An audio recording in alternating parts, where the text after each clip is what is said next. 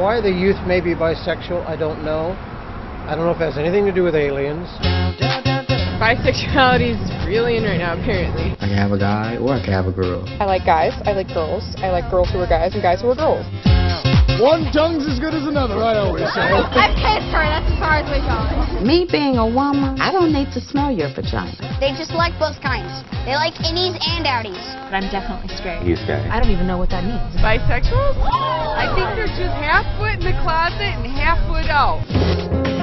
It can't be that there's been a change in the actual genetic makeup of population. Not that we suddenly have more bisexuals than we did 10 years ago. I call it the whatever generation. They think nothing about dating a guy one week and a girl the next week, and it doesn't matter to their friends.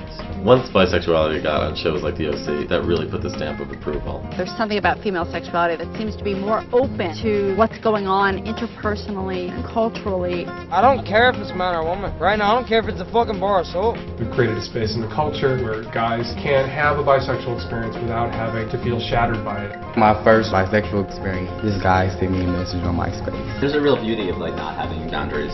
We've gone out with the idea of finding a girl to hang out with. Everything on his mind is not whether it's a male or a female. It's who they are as a person.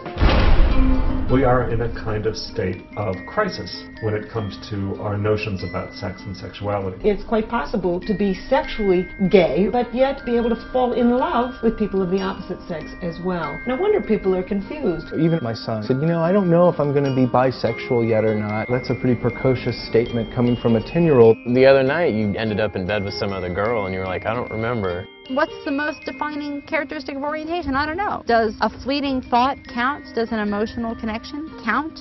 I woke up like, like just thinking that I had ruined my whole life. If I were to turn out bisexual, I would be disowned.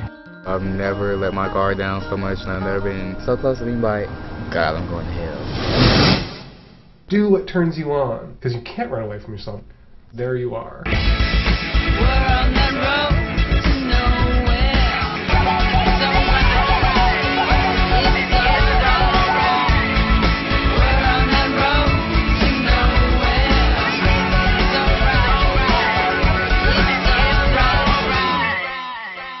Today, women and men, that's what they want. They want no love. They just want sex. We're on the road to nowhere.